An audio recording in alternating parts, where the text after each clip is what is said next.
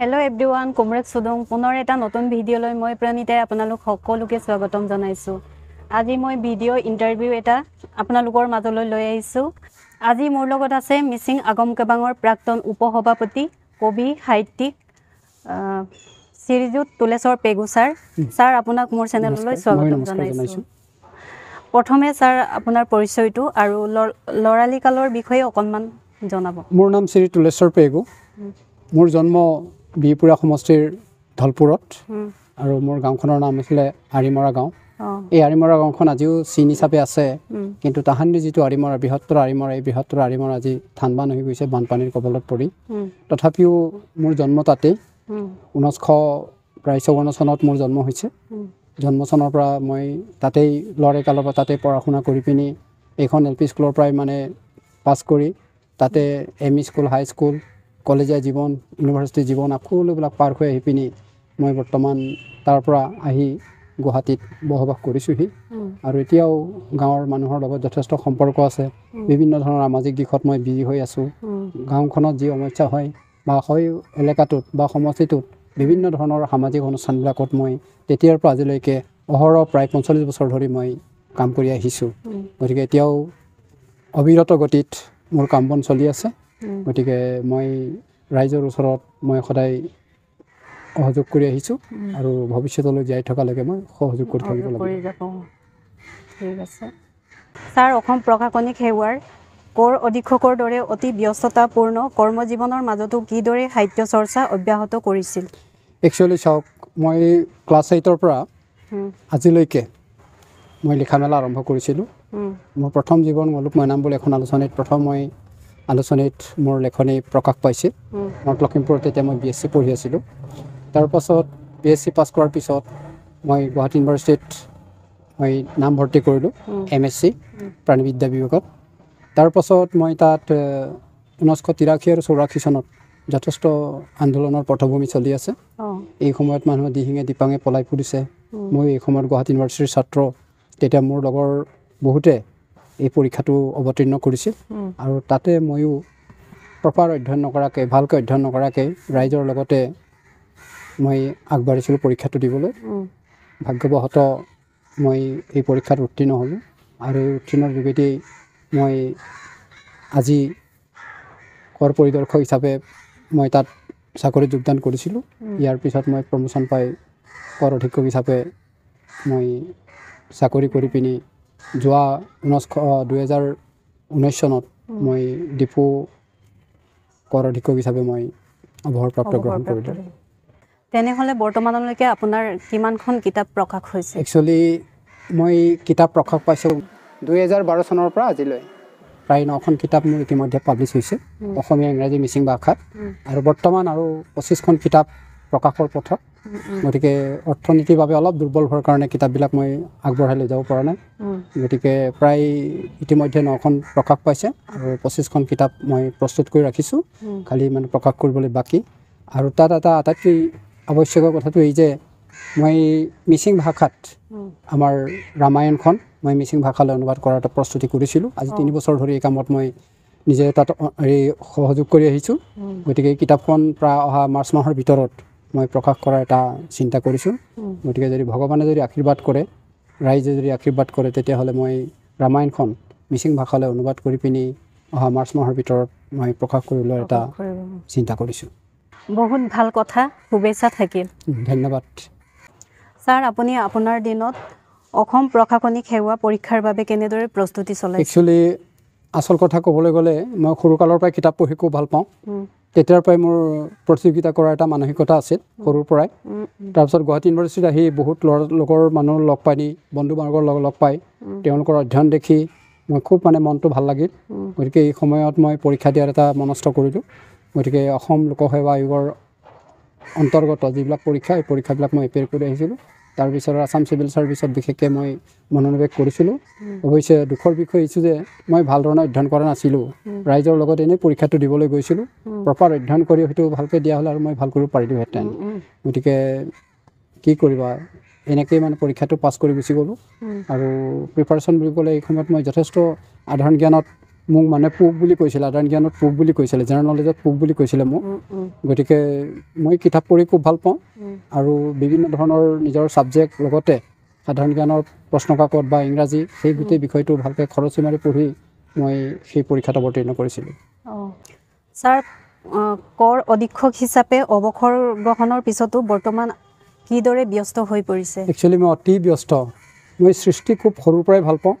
মই খেতি কৰি সৃষ্টিটো ভাল পাওঁ কিতাপ লিখি মই সৃষ্টিটো ভাল পাওঁ সভা সমিতিত গৈ কাৰোবাক পৰামৰ্শ দিয়াটো মোৰ কাৰণে সৃষ্টি। গতিকে এই সৃষ্টিৰ কামত মই তেতিয়াৰ পৰা আজিলৈকে অহৰহ মই সহযোগিতা কৰি আহিছোঁ। আৰু সমাগত দিনতো মৃত্যুৰ সময়লৈকে কিজানি এই কামত মই ব্ৰতী হ'ব লাগিব। আৰু এই প্ৰচেষ্টা মই সদায় ৰাখিছোঁ আৰু সদায় ৰাখিম। ছাৰ মিচিং আগম কেবাঙৰ প্ৰাক্তন উপ উপসভাপতি হিচাপে আপোনাৰ কাৰ্যকাল আপুনি কি কি দায়িত্ব পালন কৰিছিল? Actually two thousand ten twelve এই বছৰটো। মই যিটো সময়ত প্ৰাক্তন উপ- এই উপসভাপতিতে মই যিটো কাম কৰিছিলোঁ এই সময়ত মিচিং ভাষাত যিটো ৱেবছাইট এই ৱেবছাইটটো মই তৈয়াৰ কৰি দিছিলোঁ। বৰ্তমান এই ৱেবছাইটৰ অৱস্থাটো কি হৈছে মই গম নাপাওঁ। আৰু লগতে তাত চৈধ্য পোন্ধৰখন কিতাপ মই প্ৰকাশ কৰি মানুহে লিখি দিয়া সেই কিতাপ প্ৰকাশৰ দায়িত্বত আছিলে। এই প্ৰকাশনৰ কামটোতো মই ভালধৰণে সুচাৰুৰূপে কৰি গৈছিলোঁ। আৰু বাকী যিটো সাংগঠনিক দিশ সাংগঠনিক দিশতো মই যথেষ্ট গুৰুত্ব দিছিলোঁ।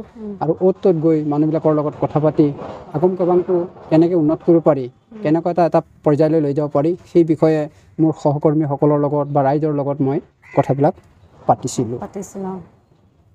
আৰু লগতে আমাৰ মিমাং বুলি এখন মেগাজিন এই মেগাজিনখন মোৰ দিনত তিনি মাহৰ মূৰে মূৰে মই ৰেগুলাৰলি নিয়মীয়াকৈ মই প্ৰকাশ কৰাটো দায়িত্ব পাইছিল ছাৰ আপুনি লাভ কৰা সন্মান আৰু বঁটা সম্পৰ্কে জনাব।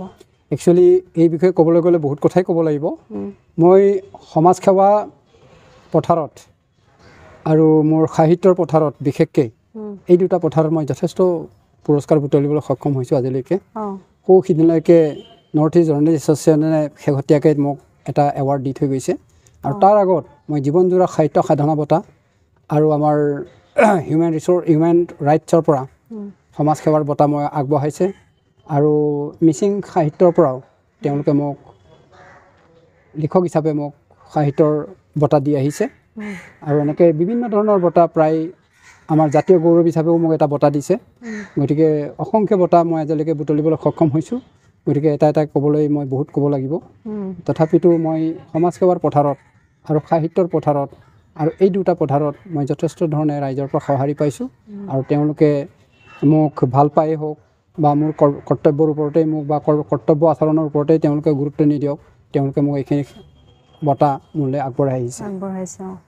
ছাৰ আপুনি এবাৰ নহয় চাৰিবাৰৰ বাবে মিচিং আগম কাবাঙৰ সভাপতি পদৰ বাবে নিৰ্বাচনৰ নিৰ্বাচনত প্ৰতিদ্বন্দ্বিতা কৰিছিল। হয়। আগন্তুক নিৰ্বাচনত নিৰ্বাচনতো প্ৰতিদ্বন্দ্বিতা কৰাৰ ইচ্ছা আছে নেকি? নিশ্চয় আছে।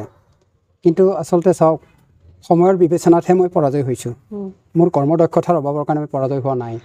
গতিকে মই সুদীৰ্ঘ চাৰি বছৰ ধৰি যেতিয়াই মানে আগম কাবাঙৰ এই ছিজনটো আহে তেতিয়া মই আগম কাবাঙক কেনেকৈ ধৰ বিশ্বৰ দৰবাৰত লৈ যাব পাৰোঁ কেনেকৈ ভাষাটোক বিকাশ কৰিব পাৰোঁ সেই বিষয়ত যথেষ্ট মই চিন্তা চৰ্চা কৰোঁ।